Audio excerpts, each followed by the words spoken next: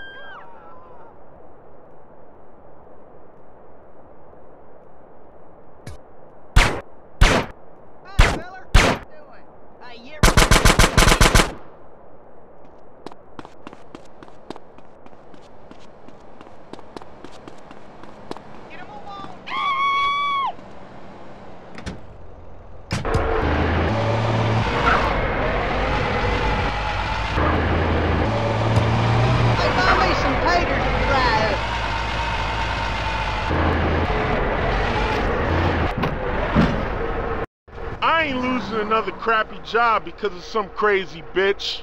Come on, Derek, we're gonna stop those bastards. Do I have to? Drive! I know a guy who'll pay for this rig and its cargo.